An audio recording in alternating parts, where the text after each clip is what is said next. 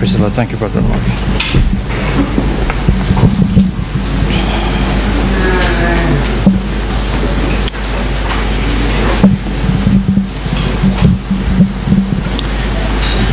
Praise the Lord, everybody. Amen. Truly, the Lord inhabits the praises of his people. Hallelujah. Hallelujah.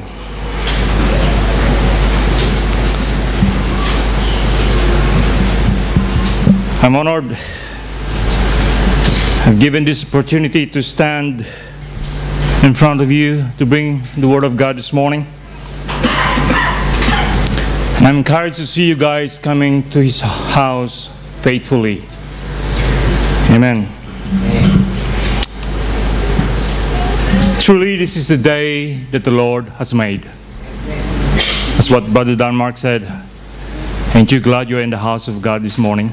I'm glad I'm in the house of God this morning. Amen. Hallelujah. Hallelujah. Let's open our scripture in the book of Matthew, chapter 18. Let's begin reading in the verse 1 to chapter verse 4.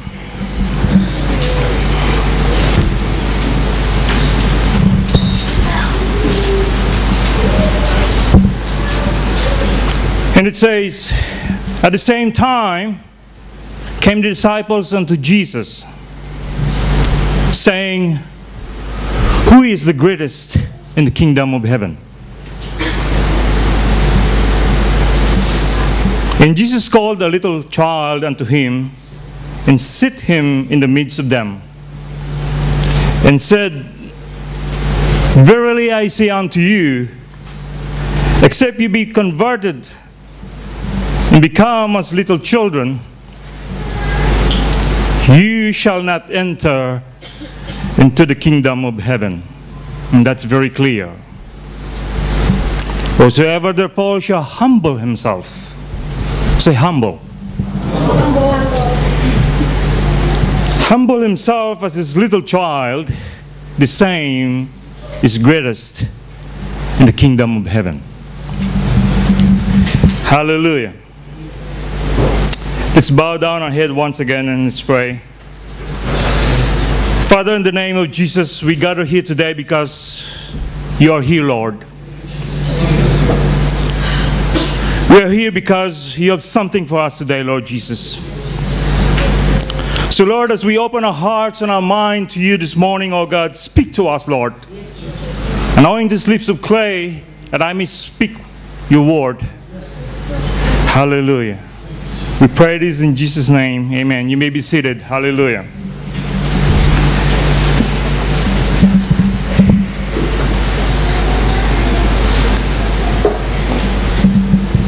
I didn't come here this morning because it's Sunday.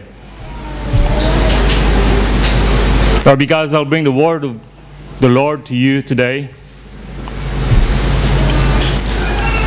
I came here this morning because when the people of God gather together, hmm, something is going to happen. Something is going to happen. Anything can happen. Where the presence of God is, there is peace, there is joy, there is liberty, there is deliverance. Amen. There is victory. And you heard, we heard a lot of praises this morning about what God have done in their lives.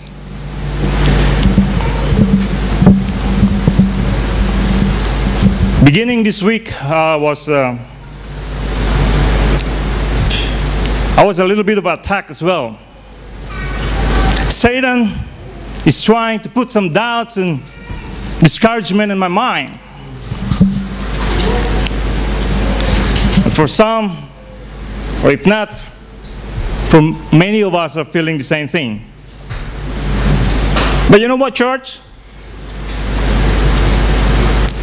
What I'm, what I'm going to tell him this morning, He won't get any victory in my life. Because I know who God is. Amen. He already died on the cross. He already got a victory. Amen.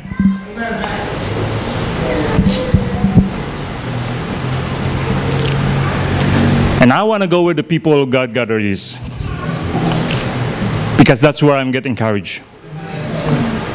I heard one of the testimonies this morning. That's where we get strengthened, get motivated in our walk, in our service to God. And we hear that as well that we're going to get connected to God and help you do too. I keep coming into the house of the Lord because I've got some needs that God and only God can feel and satisfy. Amen. And I don't want to isolate myself. You know what happens when you isolate yourself? When you forsake the assembly and the gathering of the people of God, you will die spiritually. Slowly, slowly, you will die spiritually. Your enthusiasm in serving God will diminish. Your prayer life will be affected. The things that you not supposed to do before, now you're doing it. Now you're entertaining it. You will get easily attacked by the enemy. You fell into temptation. And eventually you will get numb of the things of God. That's why we're going to go to the house of God. We don't forsake the assembly of the brethren, of the gathering. Because if you do, you will die spiritually and you will become more complacent. Today, I will be talking to you about the kingdom of God. How can we be more effective in the kingdom of God? I believe all of us, God called us. He brought us from the mire clay into His marvelous light. So, how can we be more effective in His kingdom? Again, these questions will go down to us as individual. As a child of God, how can we, or how can you be effective in His kingdom? In the book of Matthew, chapter 25, the Lord speaks about the parable of the talents. The Lord gave to them according to their abilities. We know the stories.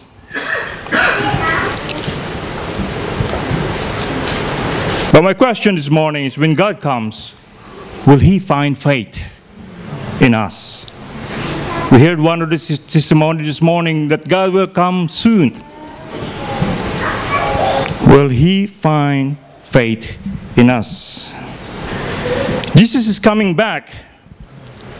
And that means we are to use our time, our talents, and treasure diligently in order to serve God completely in whatever we do. Doing our daily work out of love for God.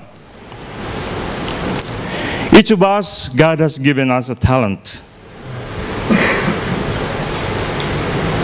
The last man in the parable of the talent was only thinking of himself. We know the story. He always thinking of himself. So what he did, he hid his talent to protect himself from the hard master.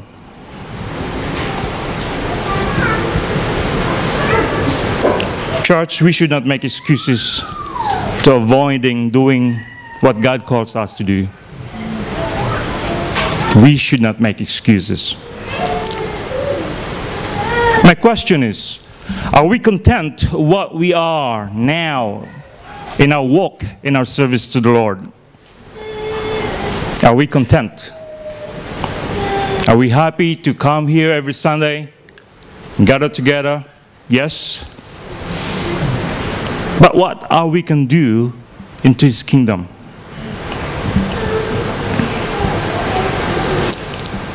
Are we going to keep it to ourselves, this great salvation that God has revealed to us? Are we not going to share it to the people, to our family, our friends, the oneness of God? Baptism in Jesus' name? Filling of the Holy Ghost? Are we going to keep it to ourselves or are we going to share it to them? That's my question this morning. Because Jesus said, Unless a man be born of the water and the Spirit, he cannot enter into the kingdom of God. There you go again. From our scripture that we read this morning, unless you humble yourself,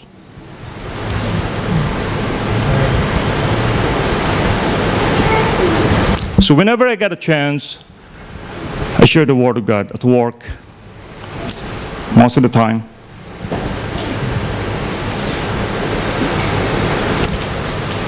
So let me encourage you this morning. Don't, don't let's not be wary of what we're doing or, or we're sowing seeds. You know? Some might feel in the stony, on the wayside, but let's keep sowing the word of God. Amen? Keep sowing. The harvest will come. The harvest will come. It's the law of the sowing and reaping. How can we be more effective in the kingdom of God? How? I've got a list of things here that we're going to consider. Um, first, you have to discover. Discover what your talent is. Ask yourself, what is your passion? What is your passion that you're going to pursue or do in the kingdom of God. Discover it. What is important and meaningful in your life or that matters to you? But don't take time to define why, which relates to your passion or your purpose or your desires or your vision. Don't take time for that one. Define your objectives. That's what you're going to do. What is your specific goal? Your prayer. Are you going to pray every day? Or are you going to pray once every other day? Once a week? Once a month? You have to define your objectives. Targeting souls. How are you going to do it? If you got passion to share the Word of God, make plans for it. How many souls I'm going to target this week? How many souls are I'm going to share the Word of God this week?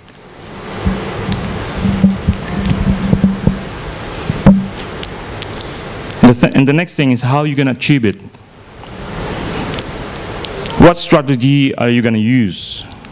What methods what plans? It's good to make plans. At home, I got plans. Yearly plans, monthly plans. You know, tick boxes. Pay the bills? Yes. Things to do. Next, I've done that one. Yes, I've done that. It's good to make plans. And the next question is, when are you going to do it?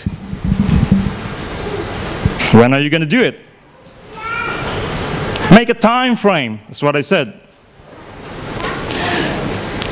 And when to achieve your goal. Once you've done that, pursue your passion. Pursue it. Pray for it. Ask God to help you. If your passion in teaching, in teaching Sunday school kids, then do what necessary things that you can do. Read books. Pray for it. If you're passionate in music, what are you going to do? You're going to stay at home and play? You're going to play here in the pulpit? Come every Saturday afternoon. Sacrifices. We need sacrifices. We need effort. We need time. There's time, money, energy involved in doing the things of God. You might heard some people say, uh, I don't know what my passion is. Some people say that. You know why? Because you will see him here, you will see, you will see them there, there, they're everywhere. They don't have a specific, a target, a plan in their lives, what they're going to do. You need to have specific direction and goal. Yes, we are here to do about our Father's business. And we're not just satisfied in sitting here, but to do about our Father's business. And how are we going to do it? How do we want to achieve it? The impact, the difference that we make in His kingdom. How are we going to do it? Again, think about the ways that you will achieve your purpose. As I said, God called us. God called us. He brought us from the mire clay into His marvelous light. And remember, we do it for the kingdom of God and for His glory. Amen. Not for ourselves not for our own glory. God commanded us to make disciples to all nations. He commanded. God gave some apostles. God gave some prophets, some evangelists. He didn't give all, some. So it's up to us as individual where to find where your passion and work in it and bring it into the kingdom of God and use it.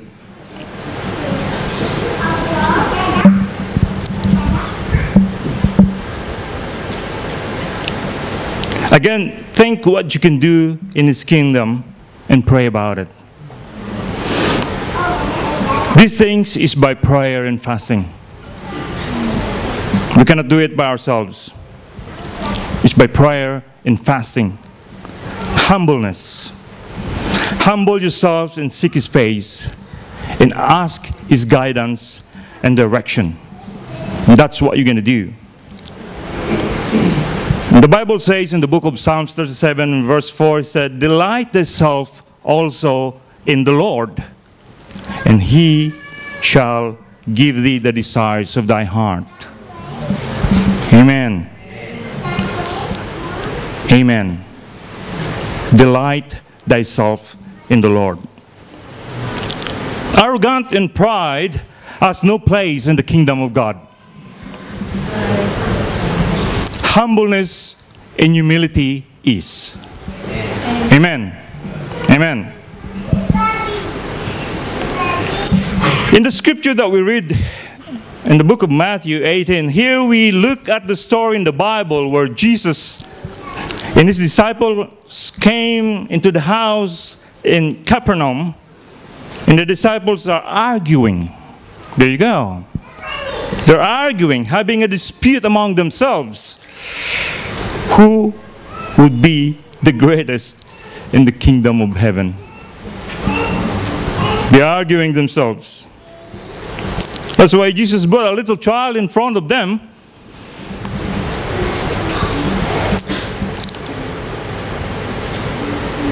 And you notice that Jesus didn't brought the wise man. He didn't brought the rich man. Because Jesus clearly thought that humble yourself as a child, that humbleness is and you'll be to be the greatest in the kingdom of God. Teach a child, and a child will follow without hesitation. That's the nature of the child. Humble yourself as a child. Not acting like childish, that's what it means. But rather childlike with humble and sincere hearts. Childish act. Humble yourself. We'll speak about that later as we go along. But what is the kingdom of God?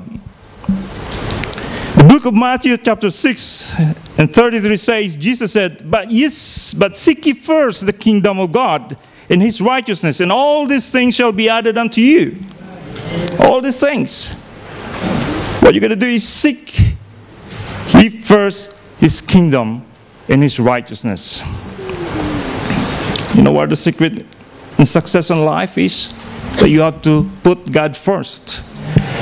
Seek ye first the kingdom of God in his righteousness. Romans 14 says, For the kingdom of God is not meat and drink, but what? Righteousness and peace and joy and the Holy Ghost. The righteousness Apostle Paul refers here is it's a righteous, it's a right standing with God that we are now in a new and right relationship with Him. God commanded us to preach the gospel to all nations. He said it to His disciples, teaching them to observe all things that I've commanded you. That's what He said to His disciples. And I will be with you always to the end of the world. That God's promise. He promised it. God promised that He will never leave us nor forsake us, saints. So, so that we may be bold boldly say, The Lord is my shepherd, and I will not fear what man shall do unto me. God promised. Hold on to His promises. God said in the book of Psalms, chapter 89, No, I will not break my covenant. I want to take back one word what I said. What God said, He will do it. That's Him. All the promises of God in Him are yea and amen. Hallelujah. God promised us eternal life. He promised us eternal life, and whatsoever believe in Him should not perish but have eternal life. Amen. He promises us peace. A peace that passes all understanding that keeps our hearts in mind in Christ Jesus. God promises us forgiveness. That if we confess our sin, He is able. Amen. He is able to forgive us and cleanse us from all unrighteousness. God promised that to us. So when God promised, He will fulfill that. So let us be patient in doing the things in the kingdom of God. It took years and years for Joseph to see his dream fulfilled. And I believe if some or most of us already done to share the word of God to somebody else, and sometimes we cannot see the fruit of it, but we don't get discouraged. Take the life of Joseph. His dreams fulfilled years in years. He go through a lot of difficulties in his life and trials. But at the end, what God promised to him was fulfilled. What God promised in your life, He will fulfill it. Saints, as we remain faithful in our walk, in our service to God, little by little, God will reveal things to us. Amen. What the book of Isaiah says, but, but they that wait upon the Lord shall renew our strength, shall renew their strength. That's what we're going to do. That's why we come in the gathering of the people. That's where we renew our strength. Amen. That's where we get motivated. Hallelujah. As we wait, as we hold on to the promises of God, let us be patient. Let us be patient. There are some things or circumstances that needs time to happen. So don't get up. Don't give up or disappointed if things won't happen to what your expectation is. Remember, God works in different way. He works in a mighty way. Amen? Our thoughts, His thoughts, are higher than our thoughts. And His ways are higher than our ways. So praise Him, not only in good times, but in the bad times as well. When we're facing some trials and difficulties in our life, in our walk with Him, just continue to praise Him. Amen. And I think that's what we're going to do praise Him, Him more when we go through some difficulties in our life. Because we got confident that God will bring us through. Amen. God inhabits the praises of his people. You know why? The wall of Jericho fell because the people of God praise. Amen. At midnight, when Paul and Silas prayed and sang praises to God, what happened? He sent earthquake and shake the prison because they praise. They praise Him because they prayed. Hallelujah. And the Lord heard them and shook the place.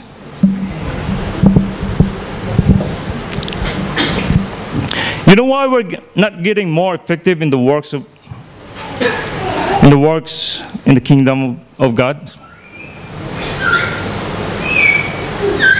Because most of the time we do it by our own strength. We're not seeking God's direction. Amen. Church, we need a fresh anointing from God. We need a fresh anointing from God. A fresh touch from God. Amen. That's what we need. Hallelujah. Hallelujah. And I'm talking this to myself. You know why we keep falling the same ditch again and again? One moment we get a victory, the next thing we get defeated.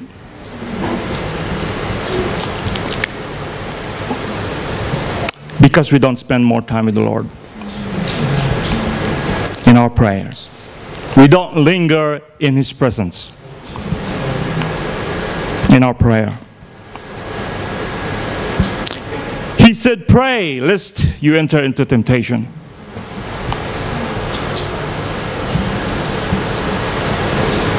Church, now is the time for us to rise and trim our lamps. Trim our lamps. Humble ourselves and seek His face. Now is the time. Now is the time for us to get serious of what we are doing in His kingdom. Hallelujah. As I call the musicians, musicians to come. Second Chronicles chapter 7 says in verse 14 If my people who are called by my name shall humble themselves and pray and seek my face and turn their wicked ways, then I will hear from heaven and I will forgive their sins and heal their land. When God appeared to King Solomon that night, when he prayed to God, when he said that, if my people humble themselves, my people called by my name, since we are here this morning, called by God, baptized in His name, Hallelujah. If we humble ourselves and pray and seek His face, then He will hear from us. He will, he will forgive our sins and He will heal our land. Unless we acknowledge and identify our sins and take responsibility on it, then we have no hope. We have no hope. Church, God hates arrogant and proud.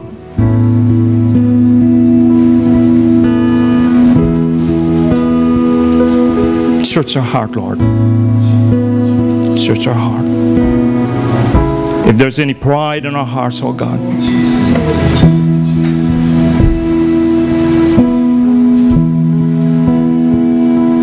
Church, if you want revival,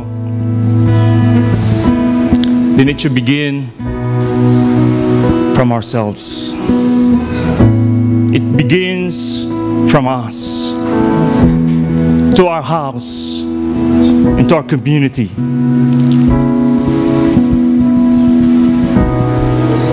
Jesus said, These things come forth for nothing but by prayer and fasting.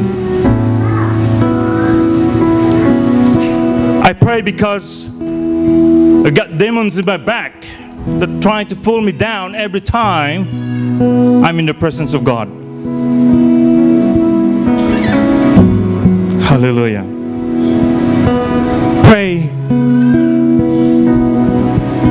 Lest you enter into temptation. I encourage you this morning, brothers and sisters, pray and seek the face of God. Hallelujah. Brother Peter.